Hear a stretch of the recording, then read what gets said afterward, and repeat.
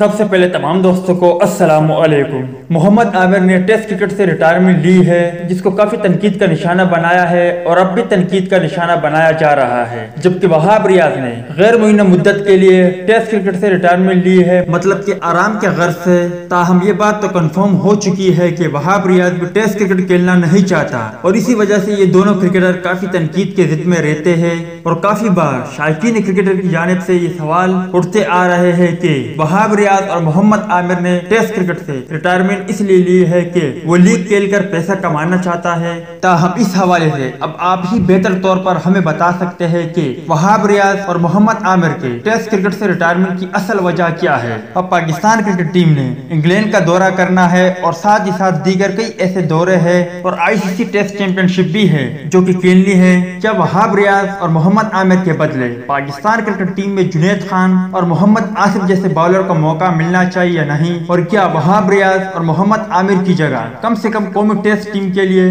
जुनेद खान और मोहम्मद आसिफ को कौमी टीम में शामिल करना चाहिए या नहीं? इस हवाले से कमेंट सेक्शन आपके कमेंट्स का मुंतजर रहेगा। मगर आज हम आपको जुनेद खान के बारे में बताने जा रहे हैं कि जुनेद खान ने एक बार फिर मायूसी का इजहार क्यों किया?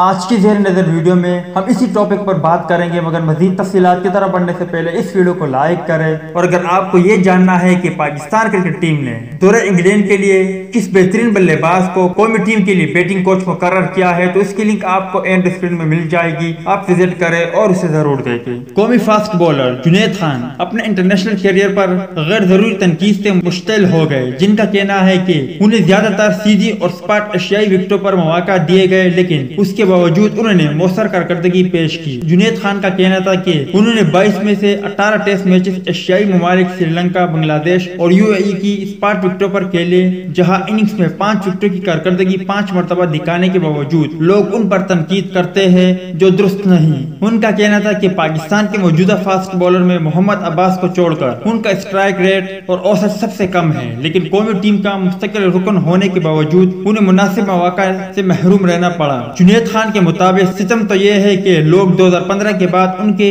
कमतर कारकर्दगी का ज़िक्र करते हुए ये बात फरामोश कर देते हैं कि उन्हें महज एक मैच के लाया गया जब उन्होंने एशिया कप में बांग्लादेश के खिलाफ चार विकेटें हासिल की थी। कमतर मौके का गिला करते हुए बाएँ हाथ के पेसर का कहना था कि अगर मुतवातिर चांस ना मिले तो अच्छी कारकर्दगी दिखाना मुश्किल हो जाता है। और ये उनका नहीं, बल्कि हर बॉलर का मसला है। लगातार मौका न मिलने से रद्दम के साथ विकेटों की हसूल की सलाहियत मुतासर होती है और बॉलर मैदान में उतरने पर खेल की बुनियादी बातें भी भूल जाता है। तो दोस्त जुनेद खान, मोहम्मद आसिफ, मोहम्मद आमिर और वहाब रियाज के हवाले से कुछ अपडेट। उम्मीद करता आपको पसंद आई होगी। इस अपडेट के मुताबिक अपनी राय का इजहार कमेंट्स बॉक्स में ज़रूर दें।